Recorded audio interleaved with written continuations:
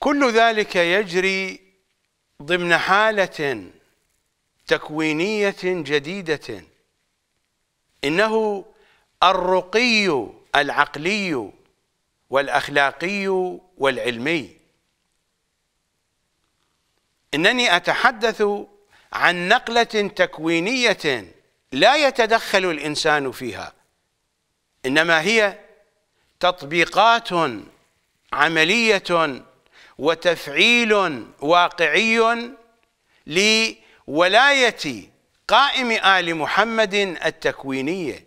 بولايته التكوينية فإن الإمام سيرفع من مستوى عقول الناس وأخلاقهم وكذلك يرفع قدراتهم العلمية بنحو تكويني.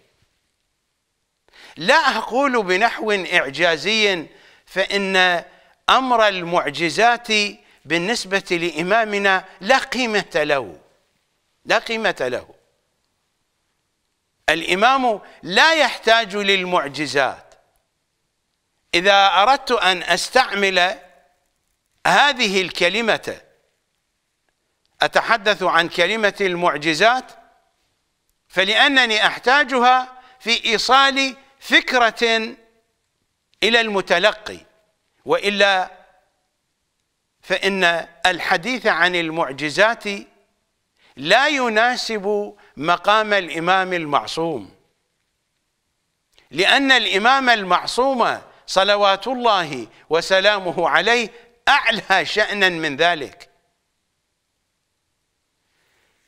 الولاية التكوينية بالنسبة للمعصوم كولاية التكوينية على يدي فأنا أحرك يدي كما أشاء. المعصوم يتصرف في التكوين كما يشاء فليس هناك من معجزة الناس تراها معجزة.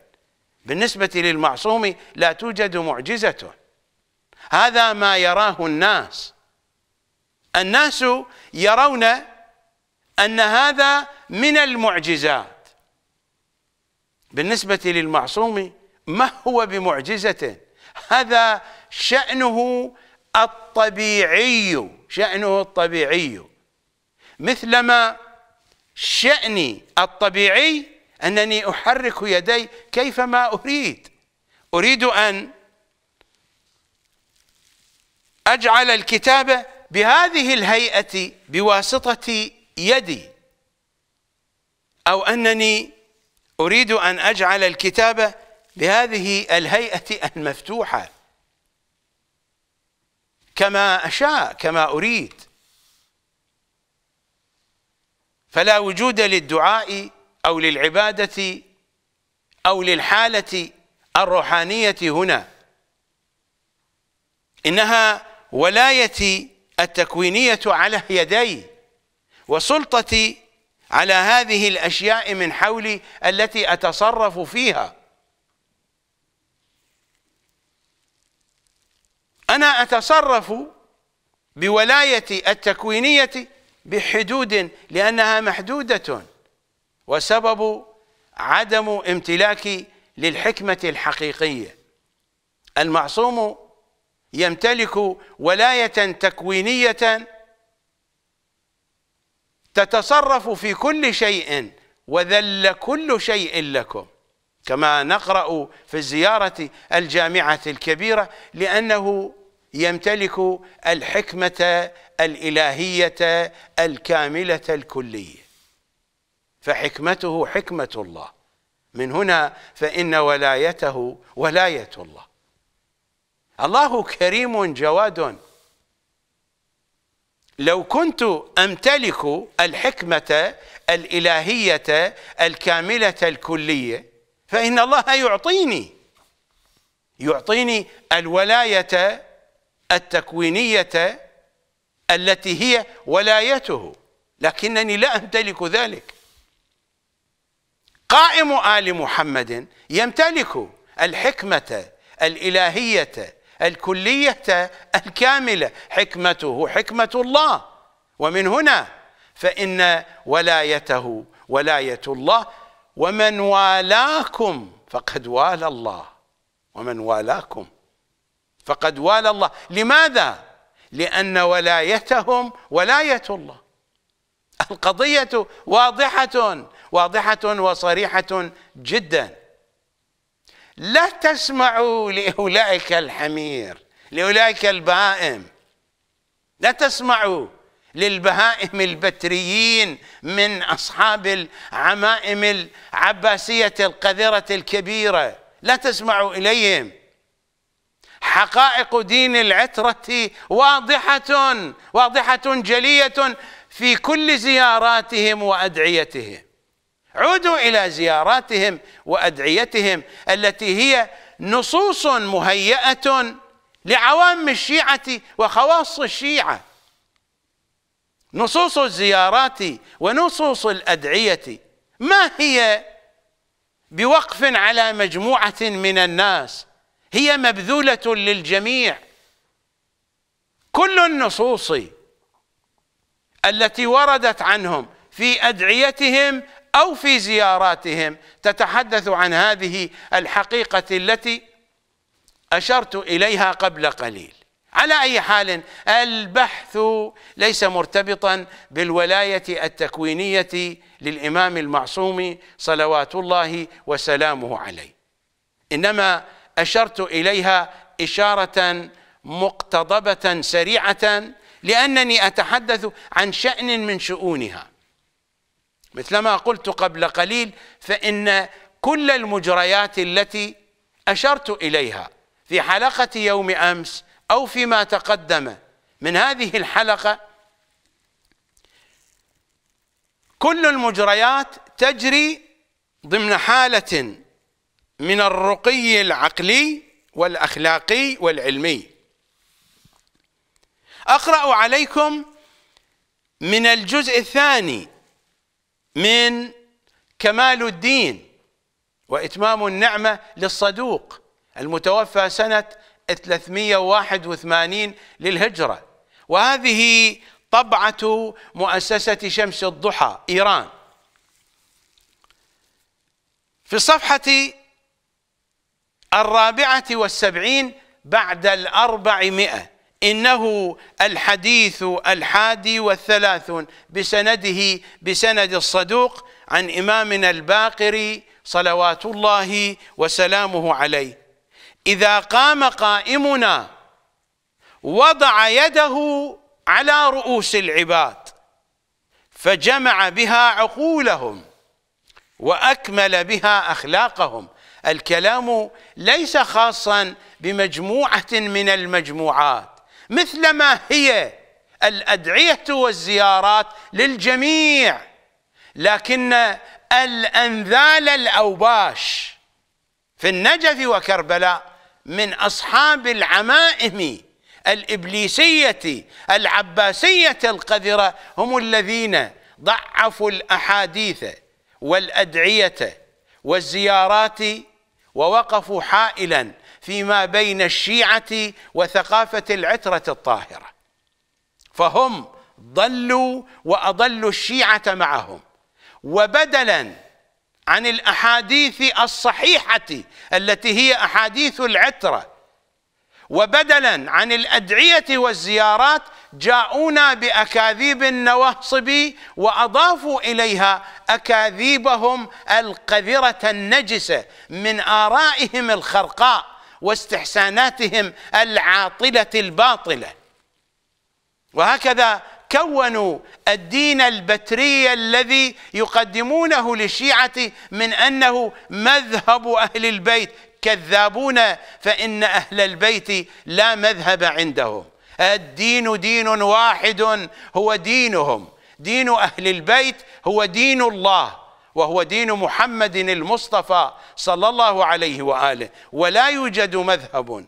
هذا الهراء والخراء جاءنا من العباسيين من العباسيين. والذي أسس هذا المذهب الباطل أتحدث عن مذهب مراجع النجف وكربلاء هو الطوسي اللعين. أسسه بالاتفاق مع العباسيين سنة 448 للهجرة ونفذه عمليا في حوزته المشؤومة اللعينة في النجف. هذه هي الحقيقة من الآخر. إذا قام قائمنا وضع يده على رؤوس العباد فجمع بها عقولهم. وأكمل بها أخلاقهم. عليكم أن تعرفوا عليكم أن تعرفوا من أن دولة المهدي دولة العدل فإن الإمام لا يمنح الناس جميعا مستوى عقليا واحدا. هذا ليس ممكنا. هذا خلاف للعدل. ولا يمنح الناس مستوى اخلاقيا واحدا. هذا خلاف العدل. قانون الغيبة المستل من حقائق القرآن. يوم لا ينفع نفسا هذا القانون مستل من حقائق القرآن. يوم لا ينفع نفسا إيمانها لم تكن آمنت من قبل أو كسبت في إيمانها خيرا. الذي أتعب نفسه وأدرك ما أدرك من العقل بدرجة ثمانين بالمئة. لا يمكن أن يمنح من العقل في رقي عقله كهذا الذي لا عقل له أو كهذا الذي لا يملك من العقل إلا بدرجة واحد بالمئة أو بدرجة عشرين بالمئة. فهذا الرقي سيكون نسبيا لأننا في دولة العدل. فمثلما يقتحم العدل المهدوي البيوت فإن العدل المهدوي سيقتحم العقول. فإن العدل المهدوي سيقتحم القلوب والوجدان. التكميل الأخلاقي يكون قلبيا وجدانيا والتكميل العقلي عبر الإدراك العقلي للإنسان. إذا قام قائمنا عليه السلام وضع يده وضع يده. هذه إشارة فالإمام لن يضع يده على رأس كل إنسان. إنها ولايته التكوينية يشير بيده إشارة وينتهي كل شيء. وهو ليس محتاجا للإشارة بيده لكن الناس تحتاج أن ترى هذه الإشارة. فهو حينما يشير بيده فإن العقول ستترقى وإلا فإن الإمام لا يحتاج أن يشير بيده. إذا أراد لشيء أن يكون فإنه يكون. حتى من دون كلمة كن. إذا أراد شيئا فإن الشيء سيتحقق. هم إرادة الله هم مشيئة الله.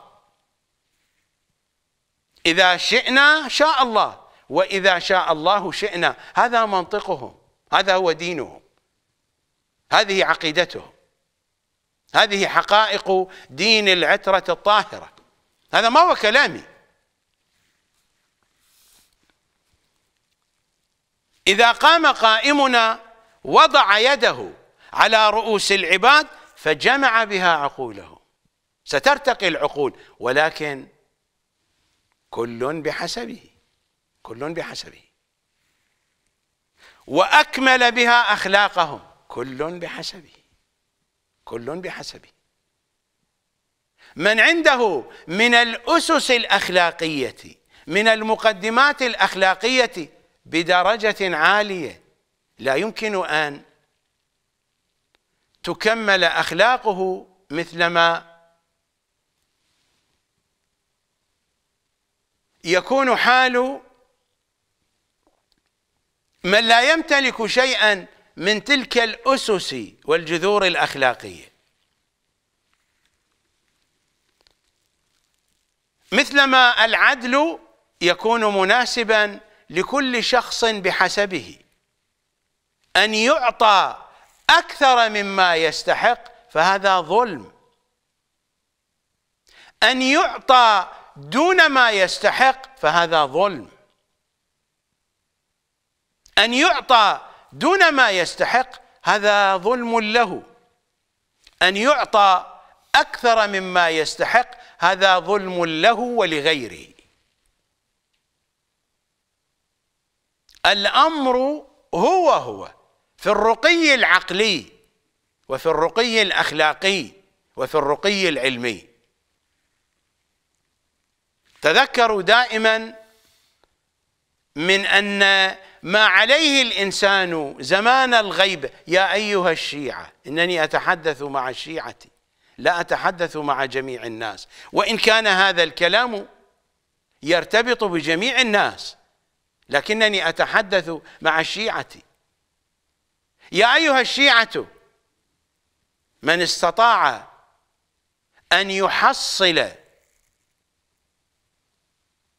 في زمان الغيبة ما يستطيع أن يحصل عليه من رقي لعقله من رقي لعلمه من رقي لأخلاقه وآدابه فإنه سيتنعم تنعما عظيما.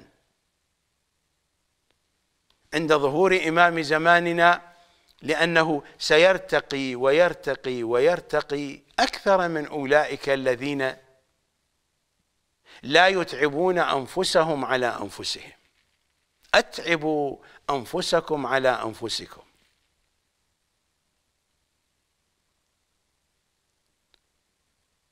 وعند الصبح وعند الصبح يحمد القوم السرى. السرى السير في الليل. الناس تريد أن تنام.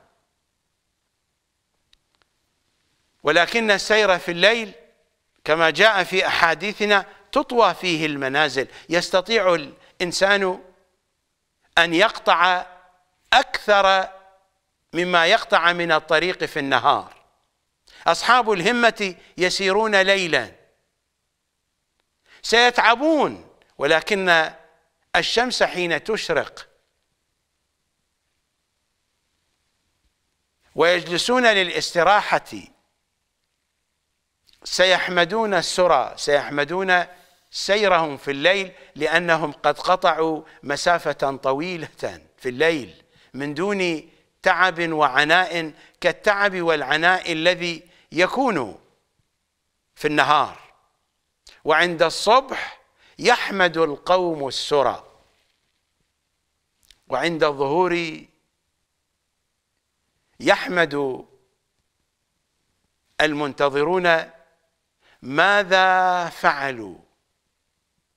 وكيف رابطوا مع إمام زمانهم زمان الغيبه يا أيها الذين آمنوا اصبروا وصابروا ورابطوا.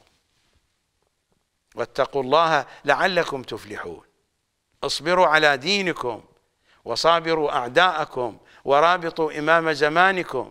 هذا قرآن محمد وآل محمد وهذا وحق الزهراء تفسيره. يا أيها الذين آمنوا اصبروا اصبروا على دينكم وصابروا وصابروا أعداءكم خصوصا الذين يكونون من أبناء جلدتكم ويحاربونكم في دينكم يحاربونكم على عقيدتكم لأنهم قريبون منكم ويستطيعون إيذاءكم بشتى أنواع الإيذاء. يا أيها الذين آمنوا اصبروا اصبروا على دينكم وصابروا أعداءكم ورابطوا إمام زمانكم. وعند الصبح يحمد القوم السرى. عند صبح الظهور وعند فجر القائم صلوات الله وسلامه عليه يحمد القوم ما كان منهم في زمان الغيبة. وماذا تحملوا؟ وكيف صبروا وكيف صابروا. إمامنا الكاظم يقول لهشام بن الحكم يا هشام ما الدنيا إلا صبر ساعة صبر ساعة. إنه صبر وينتهي. ما مر من السنون في حياتنا انتهى. انتهى الألم وانتهى الفرح فلا الألم بدائم ولا الفرح بدائم. ولا الحاضر الذي نحن فيه بدائم. والمستقبل الآتي لا ندري هل ندركه أم أننا لا ندركه. ما مضى قد مضى مضى بآلامه ولذائذه. وما يأتي فلا علم لنا سيأتي أو أنه لا يأتي بالنسبة لأعمارنا وحياتنا. وما بأيدينا سينطوي. عاجلا. وقريبا سينطوي. إنها لحظات تتسارع ما بين الصباح إلى المساء وتنتهي الأيام. إذا قام قائمنا وضع يده على رؤوس العباد فجمع بها عقولهم وأكمل بها أخلاقهم. وماذا نقرأ أيضا؟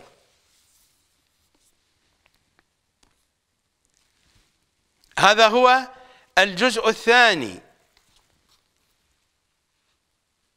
من الخرائج والجرائح لقطب الدين الراوندي. المتوفى سنة 573 للهجرة. وهذه طبعة مؤسسة الإمام المهدي قم المقدسة صفحة 840 إنه الحديث السابع والخمسون. بسنده. عن أبي خالد الكابولي عن إمامنا الباقري صلوات الله وسلامه عليه. المعنى المضمون هو هو.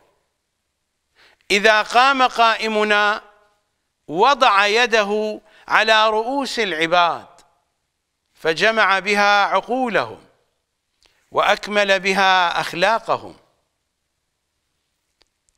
في الصفحة التي بعدها إنه الحديث التاسع والخمسون بسنده بسند الراوندي. عن أبان عن إمامنا الصادق صلوات الله وسلامه عليه. إنه أبان ابن تغلب من كبار أصحاب إمامنا الصادق.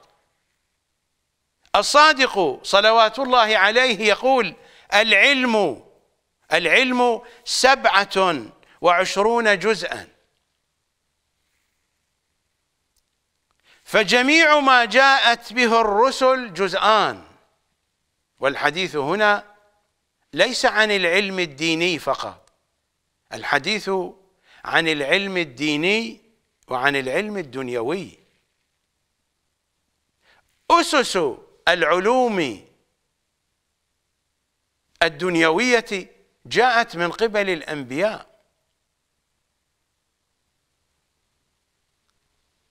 أضرب لكم مثالا. القراءة والكتابة جاءت من قبل الأنبياء. الزراعة جاءت من قبل الأنبياء وهكذا. الأسس العلمية الأولى لحركة الحياة في هذه الدنيا جاءت من قبل الأنبياء. صحيح أن الأنبياء ما كان شغلهم الشاغل أن يعلموا الناس العلوم الدنيوية لكنهم يعلمون الناس من العلوم الدنيوية ما هو الضروري كزراعة مثلا. كيف استطاع الإنسان أن يتوصل إلى طريقة الزراعة؟ كيف استطاع أن يحصل على الحبوب؟ كيف استطاع أن يضع الحبوب في التراب كيف استطاع أن يسقي هذه الحبوب.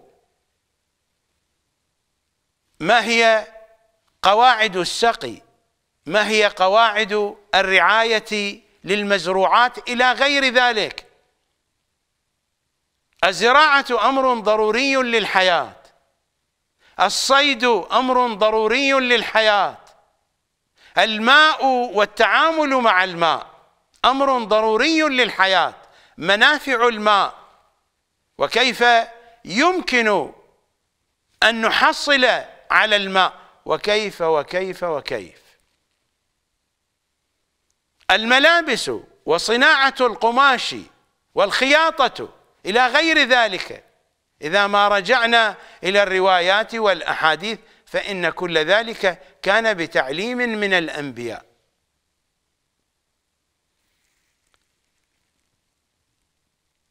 وما سيكون من علم دنيوي في قادم الأيام سيكون جزءا من هذا الذي يتحدث عنه إمامنا الصادق.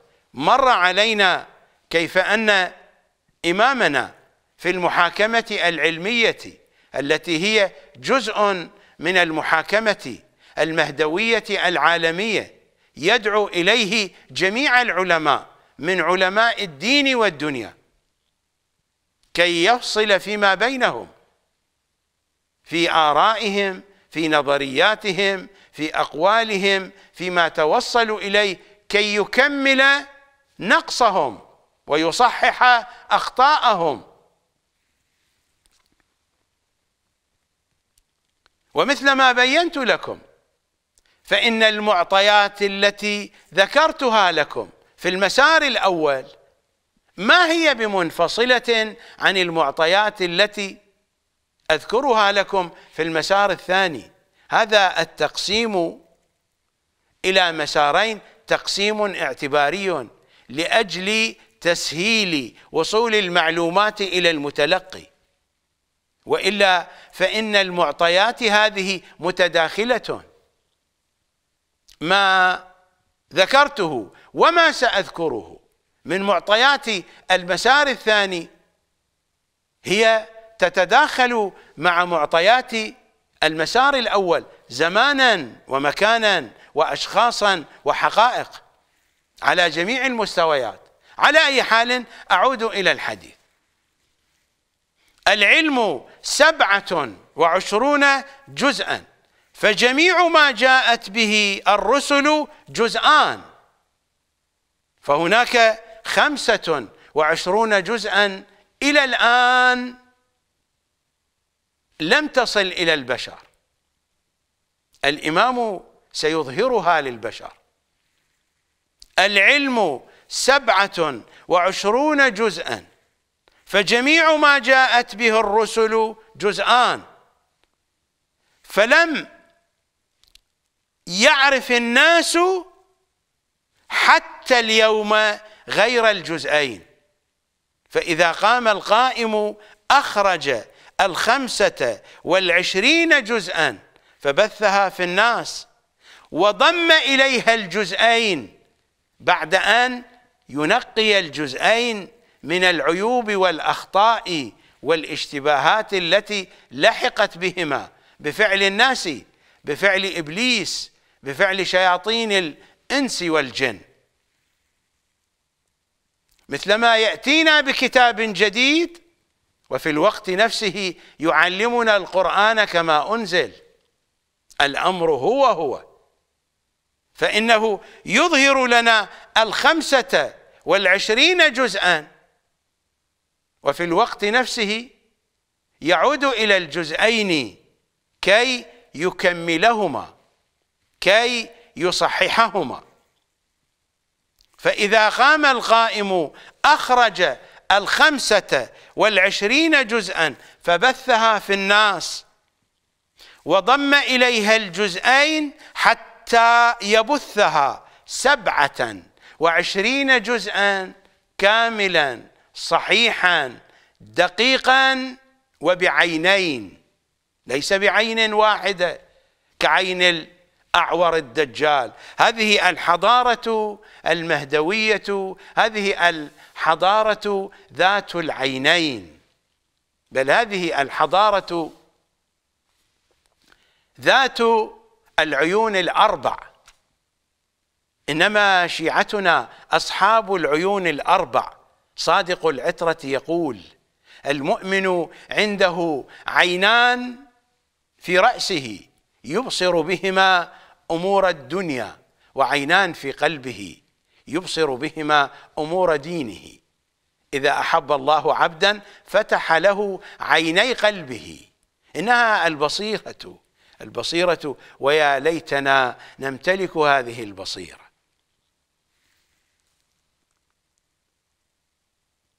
العلم سبعة وعشرون جزءا. فجميع ما جاءت به الرسل جزءان فلم يعرف الناس حتى اليوم غير الجزئين. فإذا قام القائم أخرج الخمسة والعشرين جزءا فبثها في الناس وضم إليها الجزئين حتى يبثها سبعة وعشرين جزءا.